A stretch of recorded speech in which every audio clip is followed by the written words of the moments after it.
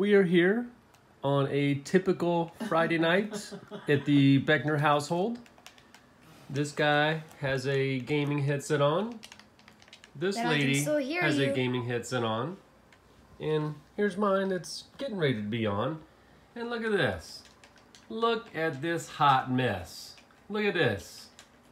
Friday night, having a party in the house on the PlayStation Nation. Look at us. We got the 65 curved 4K. We got the 43 4Ks a going. We got, what do you got over here, baby? I'm killing people. Uh, Star Wars Battlefront Battlefront.